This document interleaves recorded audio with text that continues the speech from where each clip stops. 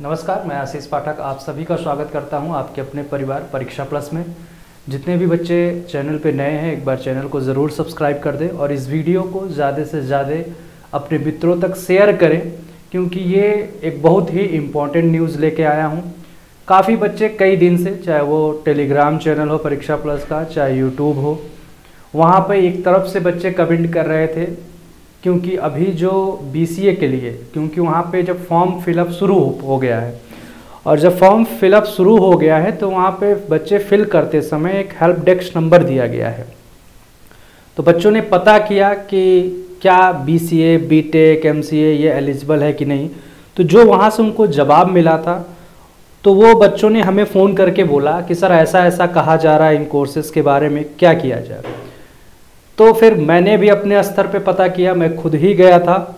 और उसके बाद से पता करने के बाद जो मुझे बातें पता चली है, वो मैं आज इस वीडियो के माध्यम से आपको बताऊँगा। ठीक है, इससे पहले जब मैंने पता किया था, जो इन्फॉर्मेशन मिली थी, वो अलग थी। आज जो इन्फॉर्मेशन मैं आपको दे रहा हूँ, वो अलग है। ठीक है, लेकिन हाँ इसके लिए पूरी टीम प्रयास कर रही है, आपके हित के लिए कि जिन बच्चों के साथ गलत हो रहा है, उनके साथ टीम कोशिश कर रही है कि ये जो गलत हो रहा है, जो वो चीज़ें समझ नहीं पा रहे हैं कि टेक्निकल और नॉन टेक्निकल क्या है, उस पर हमने काफ़ी जो है बातचीत हुई थी। एप्लीकेशन भी हमने डाल के आए मंडे को फिर एक बार जाना है। तो देखा जाएगा क्या होता है, लेकिन मैं लास्ट तक वीडियो आप लोग सभी लोग देखिएगा और इसको ज़्यादा से ज़्यादा शेयर करिएगा, ताकि बच्चों को पता चले कि क्या करना है। जो बच्चे इस स्थिति में हैं, उनको समझ में नहीं आ रहा है। प्रश्न भी यही हमसे कर रहे हैं कि बच्चे, अब सर क्या करें हम? ठीक है? तो वो बच्चों के लिए मैं ये वीडियो लेकर आया है। उनका विश्वास था कि, सर, आप एक बार वीडियो बना दीजिए। तो मैं ये बना दे रहा हूँ कि आपको क्या करना है और हम आपके साथ हैं। जो भी चीज़ें होंगी, उनके साथ साथ चलेंगे। तो अभी मंडे को एक बार और जाना है तो देखा जाएगा क्या चीज़ें आ रही हैं।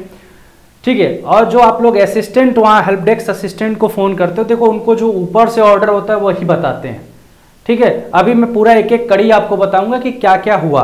कैसे कैसे आप को कैसे नॉट एलिजिबल किया गया, किसको एलिजिबल किया गया तो ध्यान रखो। तो इससे पहले मैंने जो एक वीडियो बनाई थी, उसमें मैंने आपसे बताया था कि कुछ टेक्निकल डिग्रियाँ हैं जो समकक्ष मानी जाएँगी डिप्लोमा के। और ये खासकर मैं जो बात कर रहा हूँ, वो हेड ऑपरेटर प्रधान परिचालक के बारे में बात कर रहा हूँ। तो प्रधान परिचालक में एजुकेशन क्वालिफिकेशन को लेकर जो दिक्कतें हैं बच्चों के सामने, उसके बारे में बात कर रहा हूँ, क्योंकि वहाँ पर तो लिखा है डिप्लोमा तो जिस समय मैंने पहली वीडियो बनाई थी, वहाँ पे कुछ बच्चों ने तो को मैंने बताया था कि ये इक्वेलेंट होंगी। लेकिन कुछ बच्चे कहते थे कि नहीं डिप्लोमा ही सिर्फ़ चलेगा डिग्री नहीं चलेगी। तो वो तो गलत है। लेकिन कुछ बच्चों के साथ यहाँ गलत हो गया, क्योंकि उस समय जब हमने पता किया था तो उसी आयोग के लोगों ने मुझे बताया था कि ऐसा ऐसा है, ये सब कुछ चलेगा। लेकिन अब वो अपने ही बातों से मुकर रहे हैं। ठीक है? तो बात कल क्या हुई, वही मैं आपको बता रहा हूँ कि देखिए, जो हेड ऑपरेटर का फॉर्म है प्रधान परिचालक में तो सबसे पहले मेन था इशू बीसी और एमसीए वालों के साथ। यही बच्चों के सबसे ज़्यादा इशू थे, यही बच्चे हमसे ज़्यादा कनेक्ट हैं और ये बोल रहे थे कि, सर, इसके बारे में पता करिए। आपने भी फ़ोन करके पता किया होगा तो आपको सीधे बोला गया होगा, नहीं, आप एलिजिबल नहीं है। इससे पहले ये एलिजिबिलिटी थी, बाद में नहीं हो गई। अब इसका रीजन क्या दिए? इनका कहना है कि बीसीए एमसीए क्या होता है? कभी कभी टेन प्लस टू में जिनका मैथ बैकग्राउंड नहीं होता मतलब पीसीएम नहीं होता है, वो भी बीसीए एमसीए कर लेते हैं।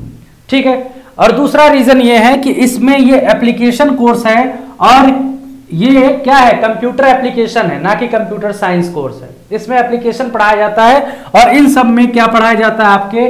बीटेक में अगर सीएस में जाओगे, अगर सीएस ब्रांच इसको ले लिया जाए तो इसका सीएस ब्रांच और बीसीए में डिफरेंस उन्होंने हमको समझाने लगे। हमें तो नहीं लगता है हम सिलेबस देखें और एक एक आपका प्रोग्रामिंग जो ये पढ़ते हैं, वही प्रोग्रामिंग ये पढ़ते हैं। हाँ थोड़ा सा हल्का कोर्स होता है, लेकिन है तो ये डिग्री का कोर्स ठीक है?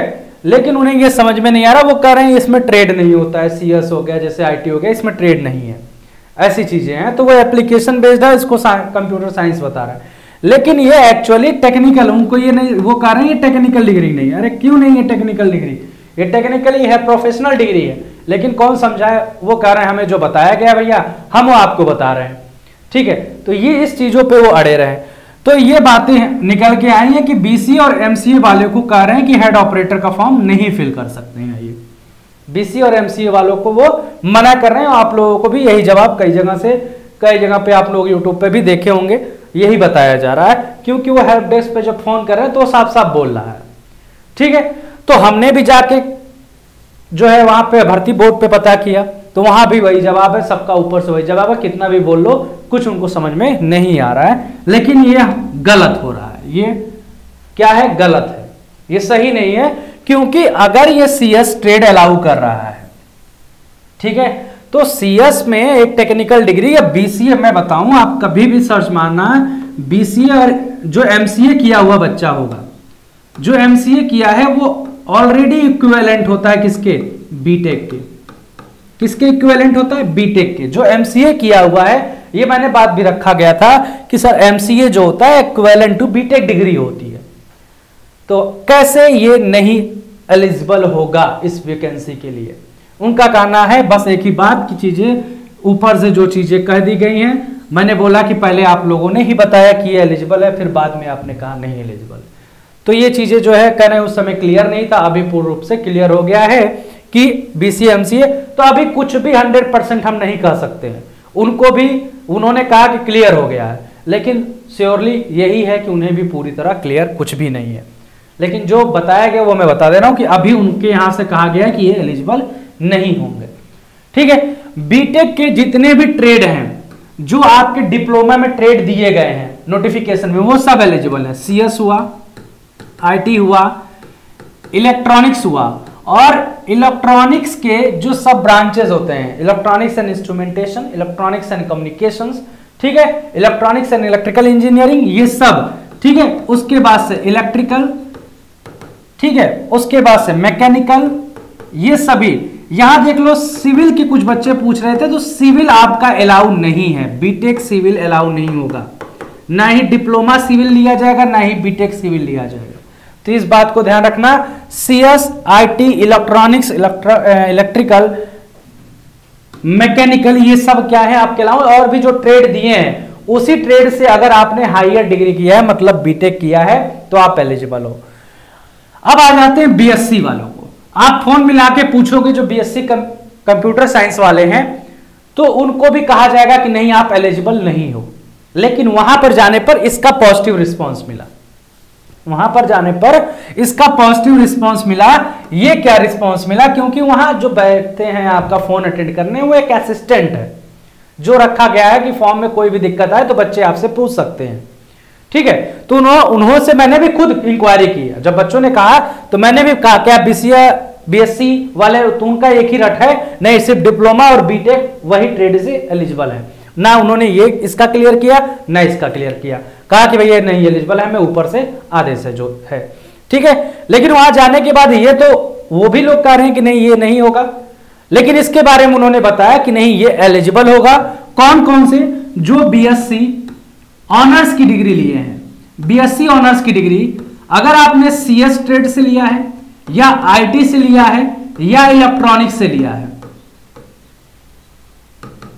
ठीक है? अगर आपने बीएससी ऑनर्स कहीं कहीं ये चलता है। सीएस आईटी इलेक्ट्रॉनिक्स से लिया मतलब आपके डिग्री में लिखा होना चाहिए BSc CS BSc IT BSc electronics तब आप एप्लीकेबल हो गए तब आप भर सकते हो फॉर्म को। लेकिन आपकी डिग्री अगर बीएससी सिंपल है मतलब बीएससी है, और आपने प्रत्येक वर्ष में कंप्यूटर साइंस पढ़ा हो, ठीक है, प्रत्येक साल एक एक सब्जेक्ट आपने कंप्यूटर पढ़ा हो फिजिक्स पढ़ाओ मैथ्स पढ़ाओ तो ऐसे लोग नहीं एलिजिबल होंगे। ठीक है? ऐसे लोग एलिजिबल नहीं होंगे, क्योंकि वो एक सब्जेक्ट में आएगा। और जब आप ऑनर्स की डिग्री लेते हो सी एस आई टी या इलेक्ट्रॉनिक्स तो यहाँ टोटली जो बीटेक का एक तरह से होता है ना सिनेरियो वही सिनेरियो बीएससी वाले में होता है। समझ रहे हो? वही उसी सब्जेक्ट से रिलेटेड चीज़ें आपको पढ़ाई जाती हैं। कोई अलग चीज़ें नहीं पढ़ाई जाती। कंप्यूटर के ही तीन चार सब्जेक्ट होंगे। ठीक है इलेक्ट्रॉनिक्स के ही तीन चार सब्जेक्ट होंगे तो वो वाली डिग्री जो होगी अगर आपके पास, वो मान्य होगी। बाकी simple BSc simple BA BCom कोई भी ग्रेजुएशन डिग्री मान्य नहीं होगी। ठीक है? तो मेन बच्चों के साथ दिक्कत हो गई कि जो बच्चे बेचारे बीसीए किए हुए हैं, कहीं ना कहीं वो कंप्यूटर में भाई, उनको कंप्यूटर का अच्छा खासा नॉलेज होता है, लेकिन यहाँ आयोग समझने को तैयार नहीं है। जो बी ये एमसीए कर चुका है, वो खुद ही बीटेक के इक्विवेलेंट होता है सीएस के, लेकिन वो आयोग समझ नहीं रहा, बोल रहा है नहीं। ठीक है, उनका एक रीजन ये था कि बीसीए एमसीए कोई भी कर सकता है किसी भी ट्रेड का। वो पीसीएम ना किया हो, तभी भी कर सकता है। चलो, ठीक है, लेकिन जो पीसीएम किया है, उसके साथ तो ना इंसाफी हो रही है। ठीक है, उसके साथ ना इंसाफी हो रही तो ये सब चीज़ें काफ़ी देर तक बातचीत हुई, लेकिन निष्कर्ष कोई भी हंड्रेड परसेंट उनका बस एक ही काम था कि भैया ये बोल दिया गया है तो ये नहीं एलिजिबल है। ठीक है उसके बाद भी हमने अपनी पूरी कोशिश की है, देखते हैं क्या होता है। लेकिन मेरा यहाँ लास्ट में यही कहना है कि आपका जो एग्ज़ाम कोई भी लगा नहीं है फ़िलहाल तो एग्ज़ाम की प्रिपरेशन आपको करना ही करना है किसी ना किसी का। कम, आप बी सी एम सी ए वाले निश्चिंत रहो, आपके लिए कंप्यूटर ऑपरेटर तो आ ही रहा है। और ऑलमोस्ट वही चीज़ें पढ़नी है आपको। थोड़ा सा डिफरेंस है, वहाँ बहुत ज़्यादा मतलब 80 क्वेश्चंस तो आपका कंप्यूटर पढ़ना है। लेकिन बाकी जनरल नॉलेज हो गया रीजनिंग हो गया, वो तो पढ़ना ही पढ़ना है। तो मैं लास्ट में बस यही कहूँगा आप लोगों के साथ कि एग्ज़ाम के बाद जब डीबी होता है, वहाँ पे ये सब चीज़ें चेक होती हैं। ठीक है? तो एटलीस्ट अभी जो बात है, वो 400 जो भी आपकी फ़ीस हो अभी ठीक है फॉर्म की। तो मैं कह रहा हूँ कि फॉर्म एटलीस्ट फिल कर दो। आप लोग अगर बीसीएमसी वाले हो तो एटलीस्ट मैं, अब मेरा ओपिनियन जो मैं बता रहा हूँ, वहाँ पे बात करने से जैसा वहाँ मैंने लगा मुझे तो मैं बोल रहा हूँ कि एटलीस्ट फॉर्म फिल कर दो। फॉर्म फिल करने में कुछ भी नहीं जाता है। लास्ट तक क्या निर्णय होता है, कुछ भी नहीं पता है अभी। क्या क्या चीज़ें बदल सकती हैं, बच्चे उस पर रिट्स डालेंगे, कुछ भी करेंगे। चीज़ें होंगी उस पर कि भाई ऐसा क्या है कि इसको नहीं लिया जा रहा है। बाकी तो जानते ही हो, आयोग जब अपने पार्डिंग हो जाता है तो चीज़ें किसी की नहीं सुनता है, लेकिन हमें कोशिश करने में क्या जाता है। तो कोशिश करने के लिए आपके पास कुछ ऐसा होना भी तो चाहिए। अगर आपने अप्लाई ही नहीं किया और मान लीजिए किसी का बीसीए वाले का सिलेक्शन हो गया फाइनली लास्ट में जाते जाते, चीज़ें कुछ उल्टा हो गई तो फिर आपके सामने अफसोस के अलावा और कुछ नहीं रहेगा। लेकिन अगर आप फॉर्म फिल कर देते हो और चीज़ें कंडीशन बदल जाती हैं तो एटलीस्ट आप लड़ने के कगार पे रहोगे, अपनी बात रखने के कगार पे रहोगे डीवी में। तो बस मैं यही बात कहूँगा कि एट लास्ट अगर आप लोग मेरी बातों पर जाइए तो आप लोग फॉर्म फिल कर सकते हो। बाकी जो होगा, वो देखा जाएगा, ठीक है?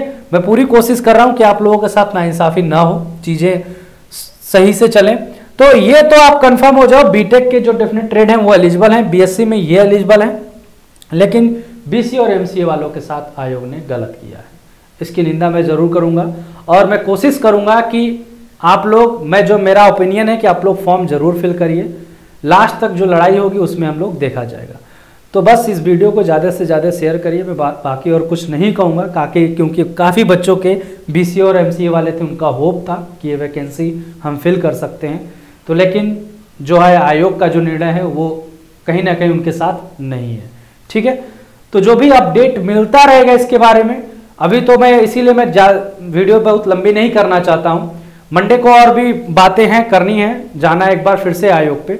तो जो होगा, फिर देखा जाएगा डिस्कस किया जाएगा, अगर कोई पॉजिटिव रिस्पॉन्स निकलता है तो। इसी के साथ मैं आप सभी से विदा लेता हूँ। आप सभी का बहुत बहुत धन्यवाद।